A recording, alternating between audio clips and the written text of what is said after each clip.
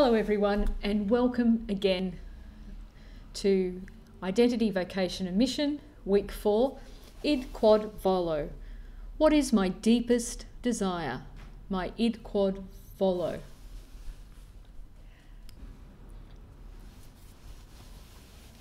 Hello, everyone. Welcome back to Identity, Vocation and Mission. I'm Deborah Kent, and this is Week 4, Id Quod Volo. This is a familiar phrase among Jesuits and those doing the exercises. What is my id quod volo? What is my deepest desire? The exercises are designed as a journey to understanding, to revelation of my id quod volo. Who am I before God? What am I called to do? What is my mission? What are my deepest desires?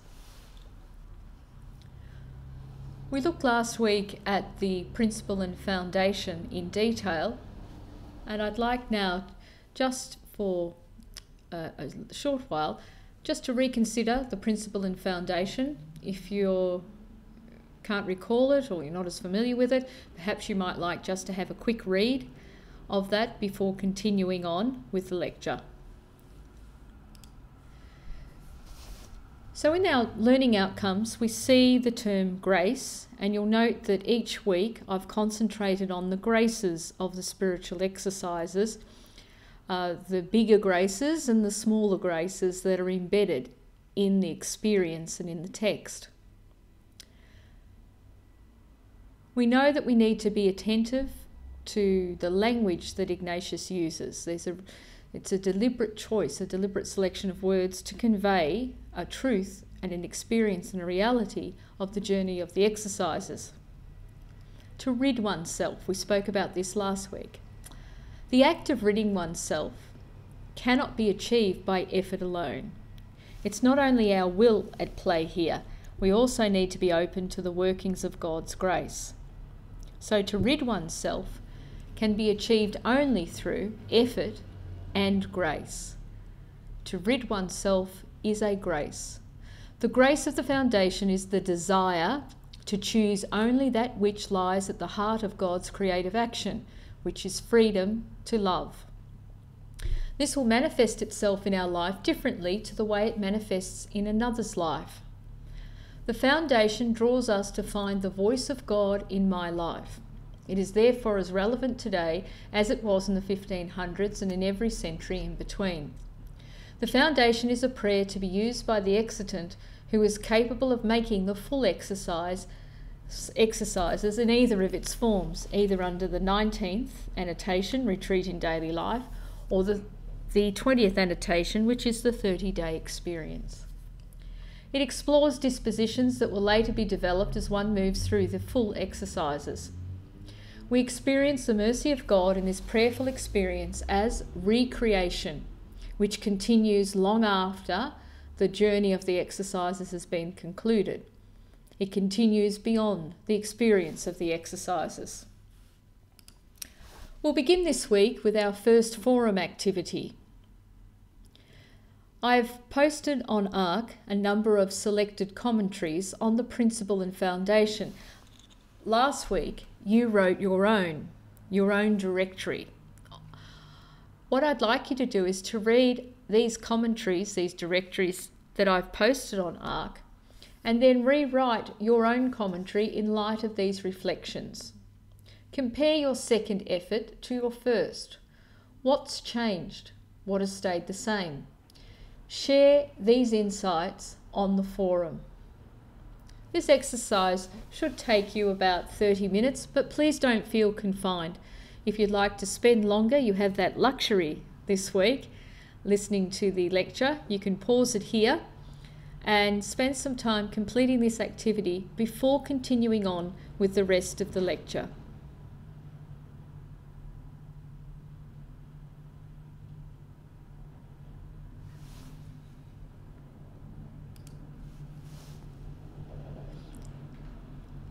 Let's return now to Ignatius's way of forming others. Ignatius's id quod volo, his deepest desire, was to form faithful, generous servants of God. His means for achieving this end with those who sought his help and those who wished to join him in his work was a practice of disciplined obedience as a pathway to freedom.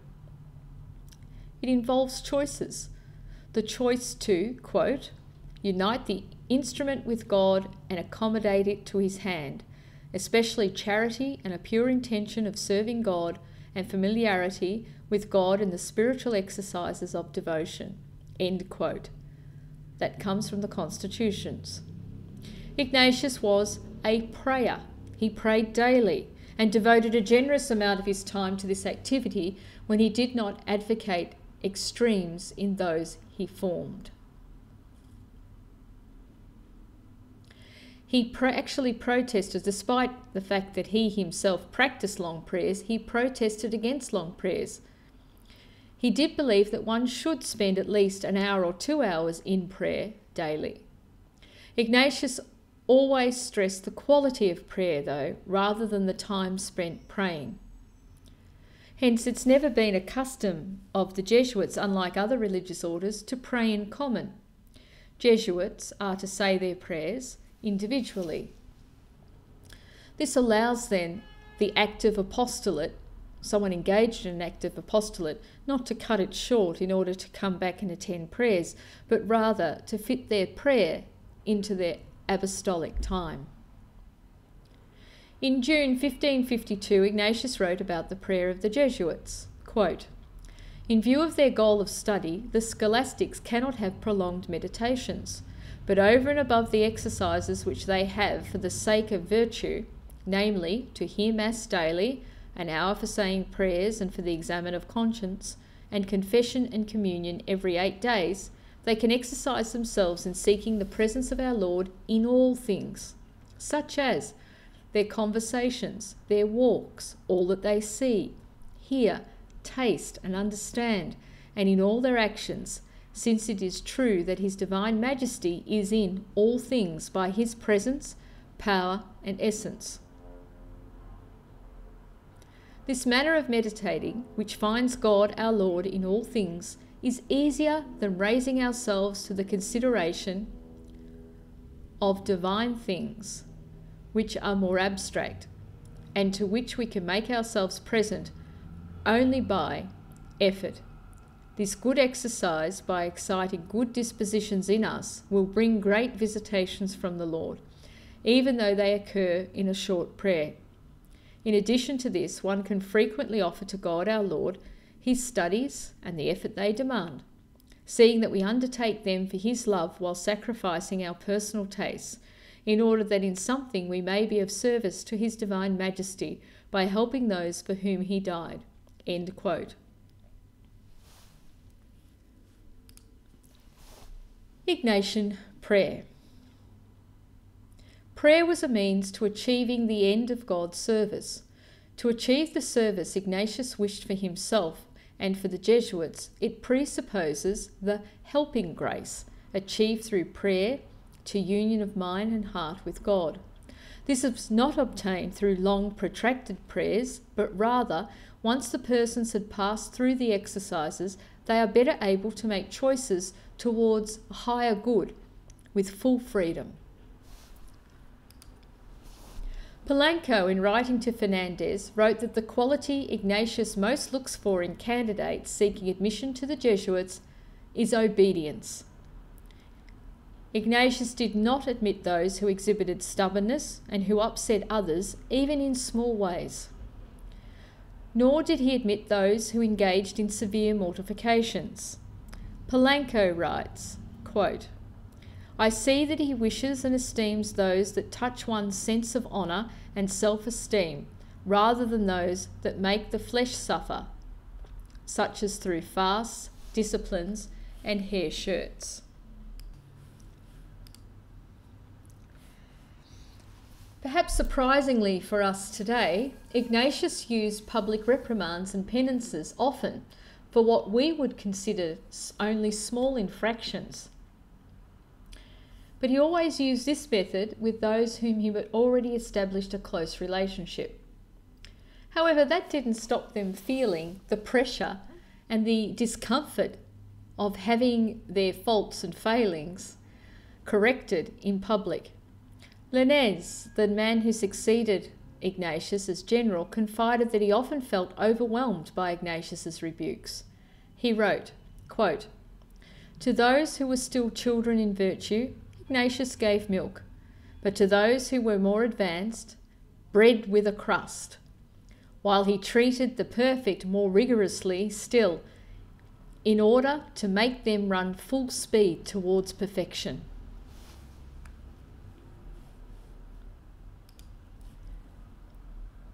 Ignatius' system of training was intentional, planned, and always, though, designed keeping in mind the capacities of the individual. While he could be a severe judge, he could also be a kind father. He dealt severely with his wingmen, such as Polanco and Nadal, and much more gently with those who were not as strong. In the sixth meditation on the two standards is the path for obtaining humility, which strips the individual of self love, freeing them to be open to learn and grow in the spiritual life.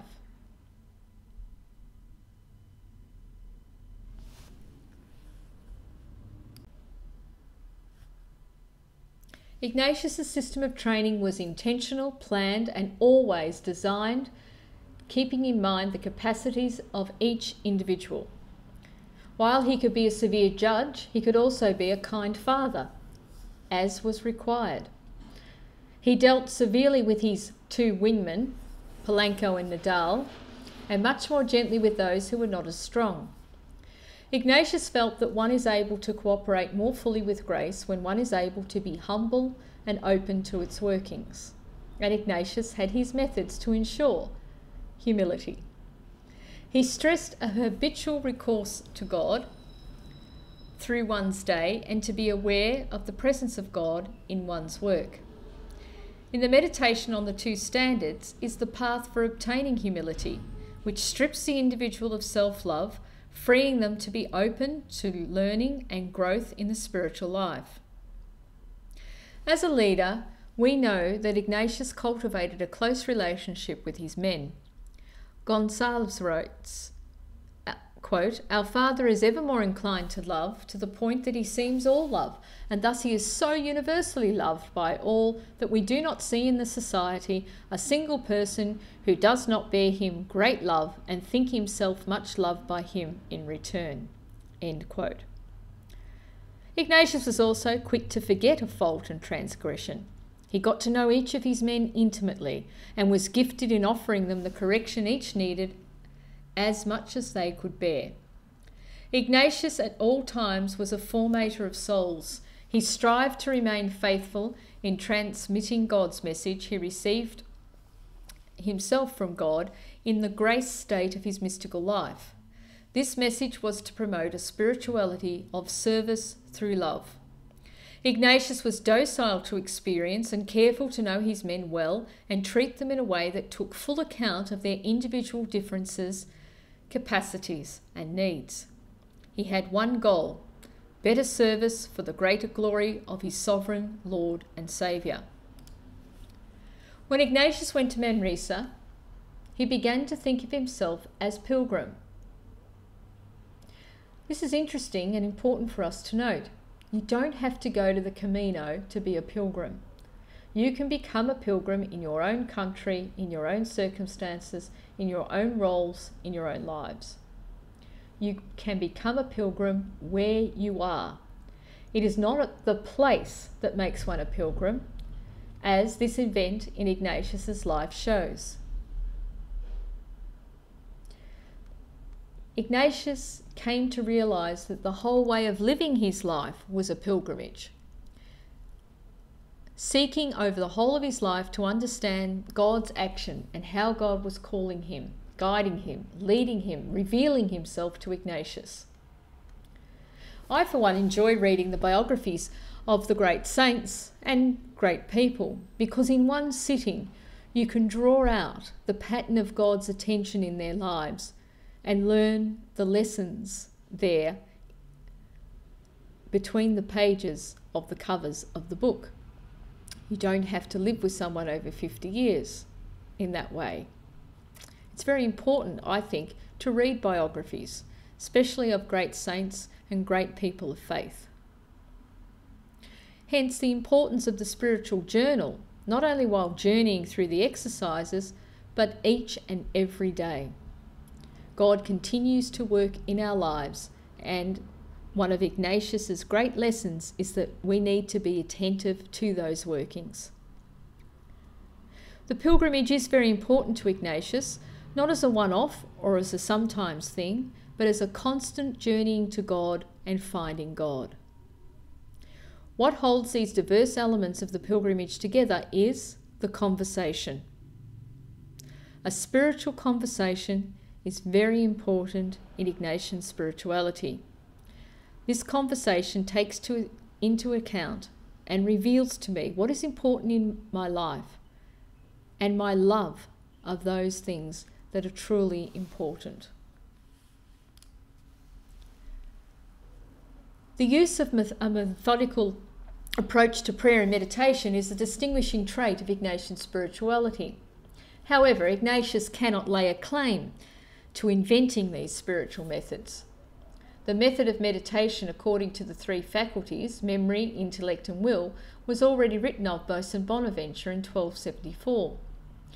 The method of imaginative contemplation of the events in the life of Christ, we believe, uh, Bonaventure had been influenced by Aelred of Rievaulx in the 1100s. What Ignatius ingeniously did was package these prayer forms into a revelatory moment.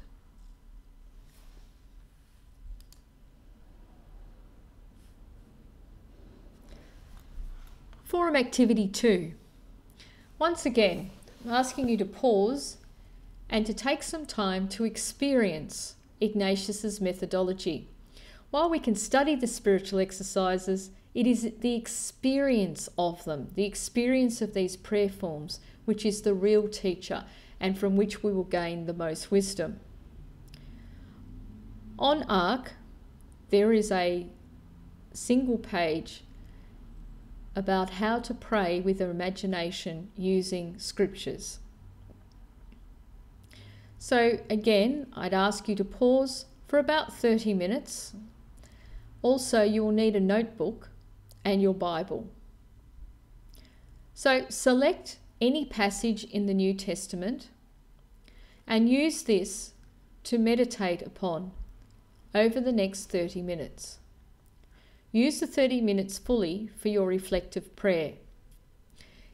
Using the sheet as a guide, enter into the passage and note all of the inner movements you feel, both consolation and desolation.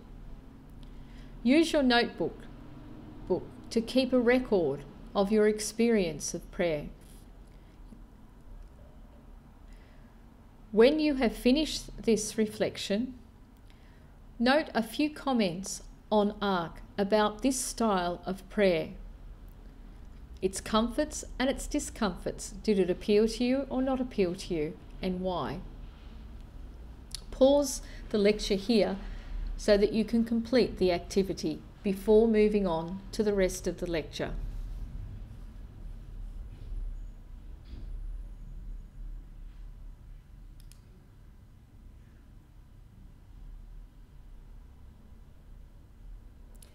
Person entering the exercises, having done the preparatory work, is ready to pray. By this time, they should have exhibited the skills and discipline to pray in freedom. The structure of the prayer, if followed, frees the person to follow the leadings of the Spirit. Present, there should be a sense of wonder and anticipation of the discovery of grace, accompanied as well with contrition. There will be movements of both desolation and consolation. These graces flow out of the consideration of the principle and foundation. It's common, we know, that without knowing sorrow, we can never know fully the feeling of joy. Without knowledge of our sinfulness, we can never quite experience the joy and mercy of God. Although Ignatius believed that this was the easiest week, the first week, It is often the experience of the maker of the exercises to find this first week to be the most difficult. For in the first week, we do enter into and really face full on the messiness of our life. However, in facing this messiness, in embracing our sinfulness, we are led through this to an awareness of mercy. For a modern take on this entering in and looking back, read now the article by Frankel Donnet, which I've posted on ARC. When you've finished reading, please write a response and comments, your reactions to this article, and share it with your fellow students on the Week 4 forum before continuing on to the next slide.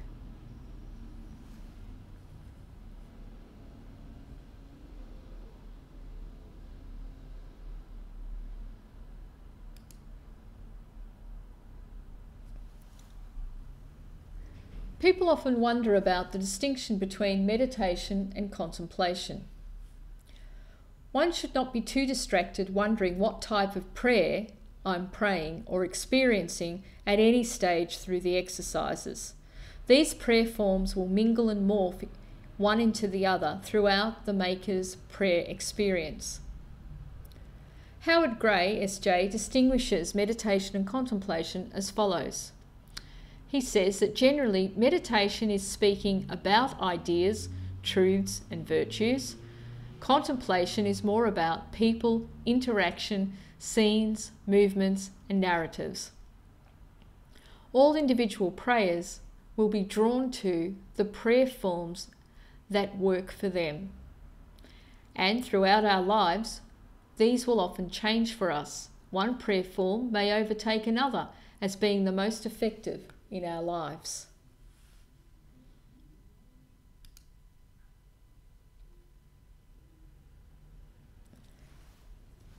There's no shying away from the fact that in the first week, the focus is on the history of sin, that is, the faith history, from the angels through Scripture, and our participation in it. Paragraph 65 the five senses are involved in the alienation of God as much as in the prayer experience. In the exercises, hell appears as sensory deprivation. The wholeness of who we are is involved in an alienation and later in fulfillment. The dynamics lie in the colloquies. What is a colloquy? Read 54 in the Spiritual Exercises text. This appears on page 296 in your textbook. Reading from the book. A colloquy, properly so called, means speaking as one friend speaks with another, or a servant with a master, at times asking for some favour, at other times accusing oneself of something badly done, or telling the other about one's concerns and asking for advice about them.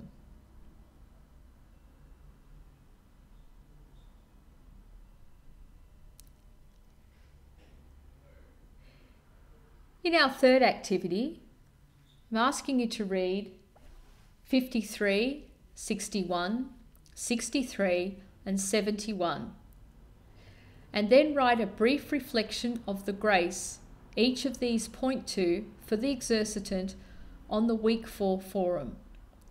So read these prayerfully and reflectively and try to, just to uncover what grace is the exercitant being pointed to in these sections of the exercises. It'd be good for the students on the forum to engage in discussion, sharing. Please respond to what other students are posting. That way we can have a shared discussion. Please complete this activity before moving on to the next slide.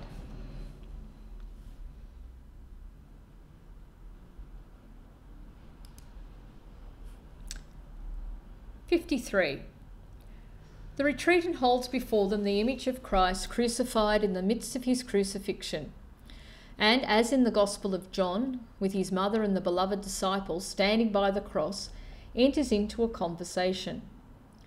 As we experienced in our earlier activity with Scripture, the role of imagination is very important throughout the journey of the exercises. That way, we do not remain observers, but we become participants in the drama. Time and space must be given to this prayer moment. Look at the questions posed in this colloquy. None of these questions can be ticked off in a few minutes. They're there to draw us deeply into the experience of prayer. These biblical episodes are archetypical myths. They are designed to teach a truth about ourselves, about our wor- world, and the relationship with our God. They can therefore lead the faithful and those who have not yet come to faith to the discovery of deep truths. Ignatius begins with the mystery of sin as part of our reality, looking at heavenly beings, then at men and women like ourselves, all deserving separation, but who were in fact not separated from God because of the sacrifice of his Son.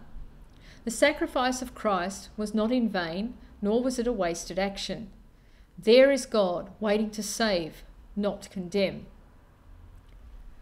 This Christian vision provides us all with the knowledge that our experience of failure, of brokenness, is not absolute.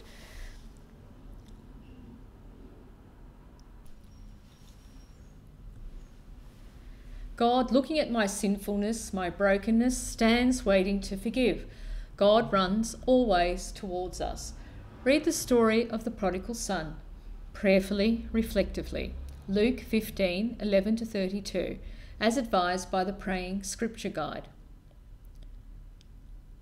Note down your thoughts and feelings as you enter into this passage into a notebook or spiritual journal. Then continue with the rest of this lecture.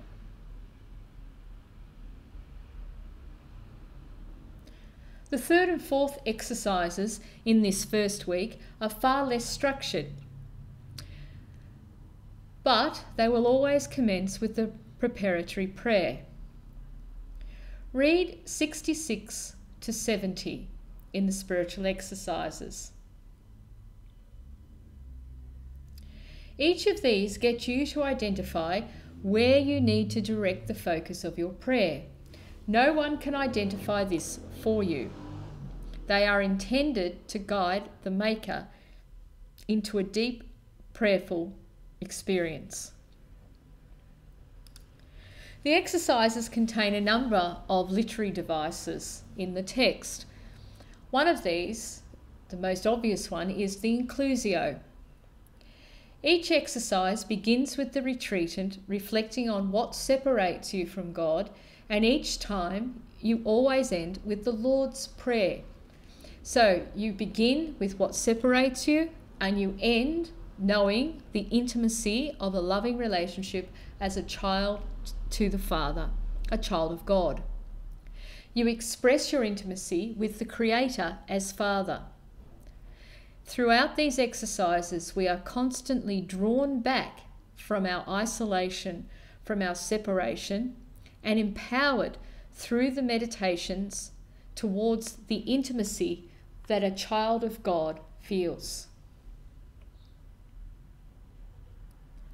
a contemplation. Contemplation exercise now that I'd like you to do is to read Genesis 3, verses 8 to 9, as advised by the Praying with Scripture Guide. Enter into this text. Stay with it for as long as you feel you would like to. Once you have finished your meditation, finish it with a slow, reflective recitation of the Lord's Prayer. When you have finished it, listen to the link that is included on the slide. It's a Don Francisco song singing about the separation of Adam and the loving call of the Father. Again, at the end, finish this songful meditation, musical meditation with the Lord's Prayer. So, the exercises today in our contemporary world, we now know there are many, many ways to give the first week of the exercises, and there are lots of guides on the market about ways to do this. Probably more people experience the first week of the exercises than the full exercises themselves. The first week have been adapted into a variety of settings, from prisons to schools to retreat centres to families. There is no one right way to give this week to contemporary exercitants. Michael Hansen, SJ, coordinates a program and has a book to explain the process in a contemporary setting. I have included the reference in the supplementary reading section. This is the important role that the giver plays in helping the person to realise the objectives of the exercises. By being attentive to the individual and to their special circumstances in which the journey is undertaken, an experienced guide can ensure that the person is always benefiting from their prayer, meditation, and experience of the exercises and never burdened by it. I cannot emphasize enough the importance of having an experienced, wise guide when one embarks upon the exercises.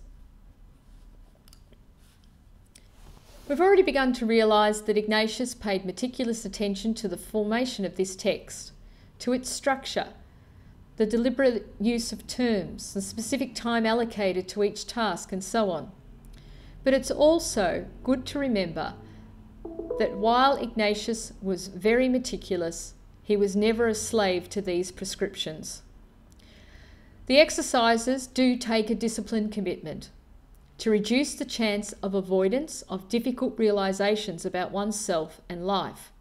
They also respect the ebb and flow of God's activity in the life of the maker and the guide, the giver. This is why they require an experienced guide who can assist in knowing when to adapt the exercises and when not to adapt them to ensure the exercitant is benefiting and not burdened. Ignatius does recommend methods of prayer, but again, he never only offers one method. In the exercises, we have the method of the three faculties memory, understanding, and will. We have contemplation, both imaginative and effective, of the life of Christ. We have an application of the senses, three manners of engaging in prayer.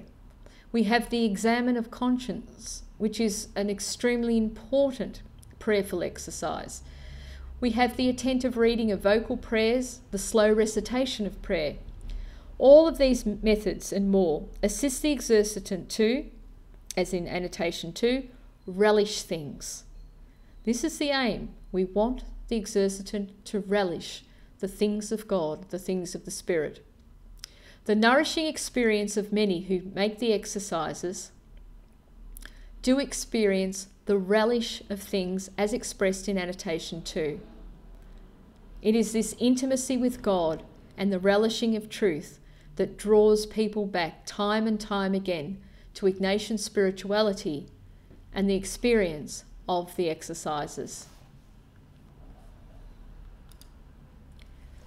Finally, just a quick look at the role of reason and the will in the spiritual exercises journey. Ignatius leads the exercitant with a deliberate method towards the love of Christ in a both effective and a logical process. This participatory action ensures the docility and humility required for a person entering the exercises to be open to the grace of the Holy Spirit and to enter into the mystery of the Godhead. That concludes our session. Just a reminder to have a look at the essay topics. If you would like to modify them or to design one of your own, please just drop me an email. And also remember in week 8 to select a tutorial topic that you'll be delivering to the class in a 20 to 30 minute presentation. Thank you, and I'll see you next week.